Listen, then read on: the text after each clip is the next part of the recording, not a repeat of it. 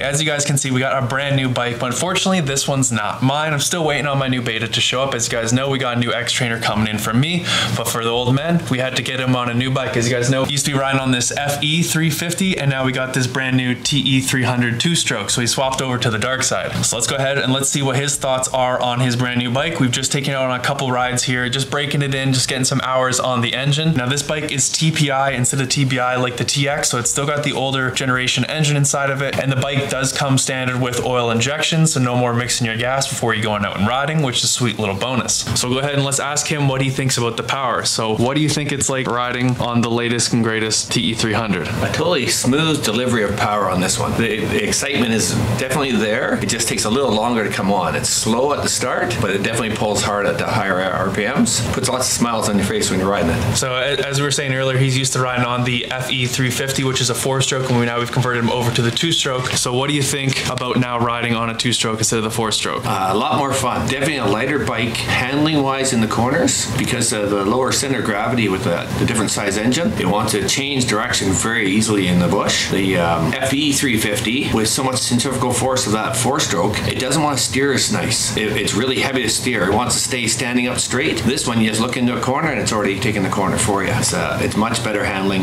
way lighter feel. It's only 6.6 pounds lighter than the uh, FE 350, but it feels 30 or 40 pounds lighter when you're going through the technical stuff because of how much better it handles. All right, so what do you think about uh, the suspension on this bike? We have still linkage, so it's not like the XCW where it's the old PDS system. This does have the linkage set up on it. So what do you think of the suspension when you're out ripping it? It stays way better contact to the ground. It doesn't seem to want to bump up and over things like with the other one with its direct link. This one with the linkage in it, it tracks to the ground so much better. Like we were doing 80 to 90 Ks down through the potholes there today, and the tires never left the ra- ground at all. It was great traction. Very stable feeling, even in the corners. You know, it, it squats a little bit at high speed through the corners above 80K, but it's great. It doesn't give you any uh, lack of confidence in the corners at high speeds. Now, with with being a little bit of a heavier set rider, just over at 200 pounds, how does the stock suspension feel for someone like you? It's a little soft at this setting. I want to. I'm going to uh, probably change the rear spring setting, put a little bit more compression because it's starting to sag a little more after the first two rides. It's supposed to sag about uh, 3.7 to 4.1 inches, and now I'm getting probably four and a half, four and three quarter inches. So I'm going to put a little more preload on it, but it is breaking in. It's set pretty good.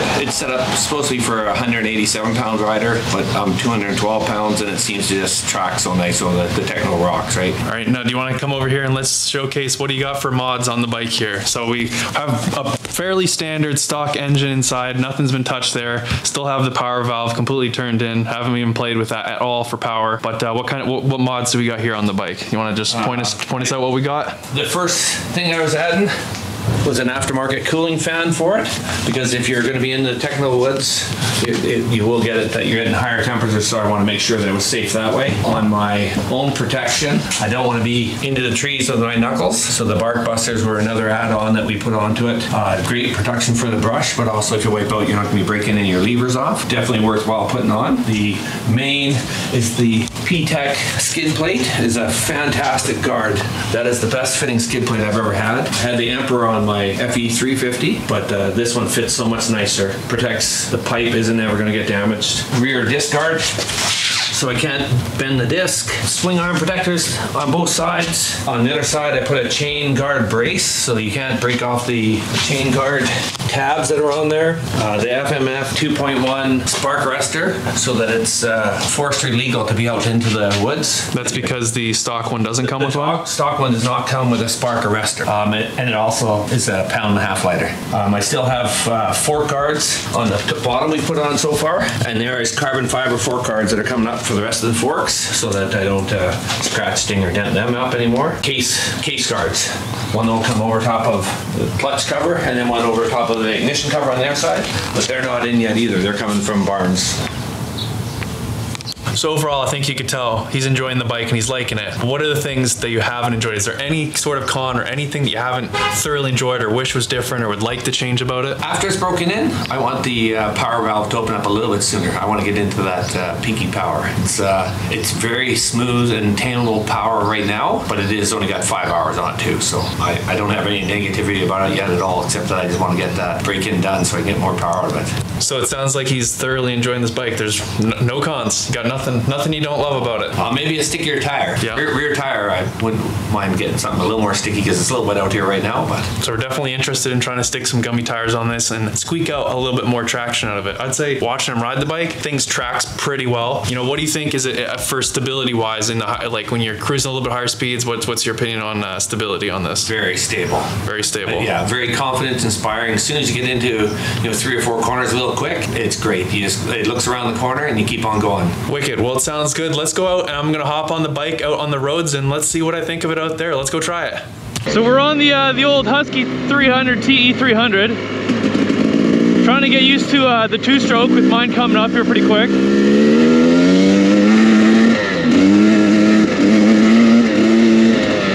This is so weird. Wow, there's lots of low end.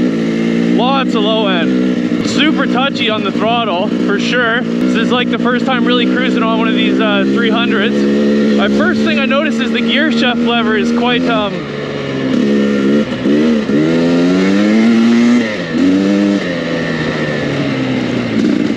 Whoa!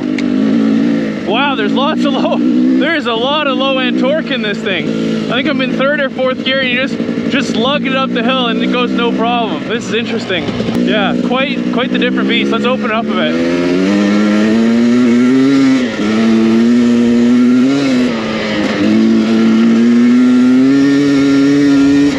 Oh yeah, she rips. She rips pretty good. that's pretty good. No, it's uh definitely a whole different game than than riding the BBR thing. This is way different.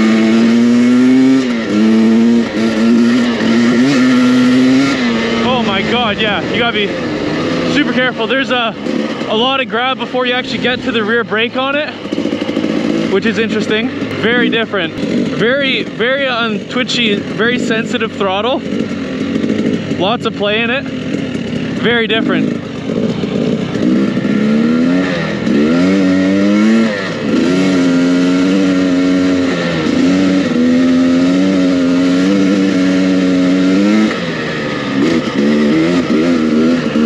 that is a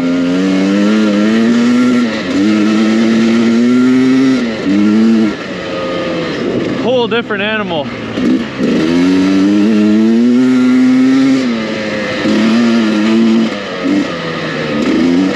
Yeah, that's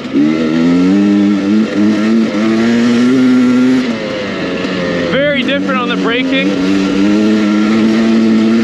Noticeably just much stiffer suspension, but the whole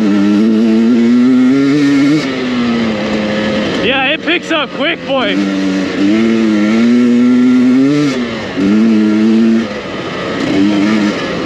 Yeah, it's quick. Woo!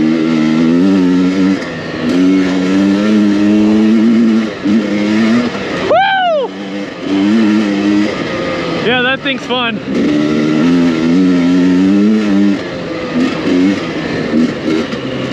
The power is a whole different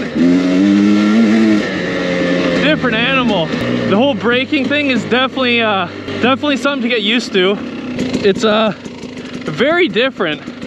The whole like it feels very mountain bike like like there's not a lot of um it just feels way different.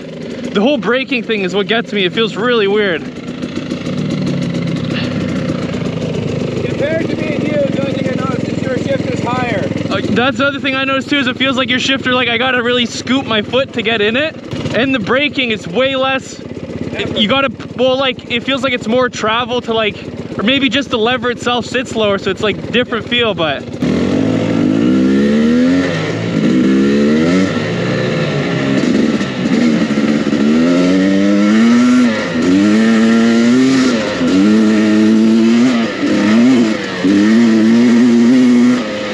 Wow, it's different.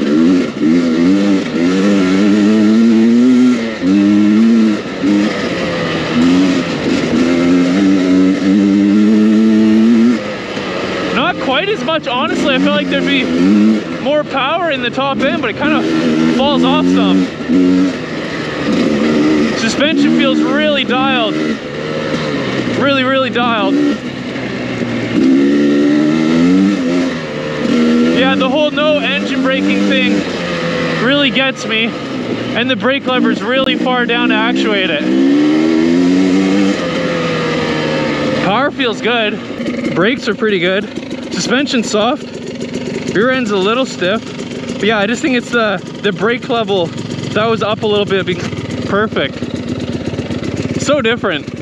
Such a different feel. And I on it feels more this one it doesn't feel like it wants to necessarily just throw up the front end. It feels like it just wants to like just like freight train. Whereas like Luke's it was like very on off power. Yeah. This feels much more linear. Yep. That's fun. Here you go. I won't, I won't wreck it. All right, gonna jump in here from the future. Uh, yeah, overall thoughts: TE300, super great, awesome bike, lots of fun. If you're thinking to pick one up, I would suggest just going for it and go get one of these things, man. You're gonna have a whole lot of fun out in the trails. Uh, he clearly loves his. The old man definitely loves his bike and has no remorse or any regrets picking it up. So pick one up. If you guys enjoyed today's video, make sure you guys click the like button, click subscribe down below, and leave a comment if you got any questions, and we'll be for sure to answer it. See you in the next one.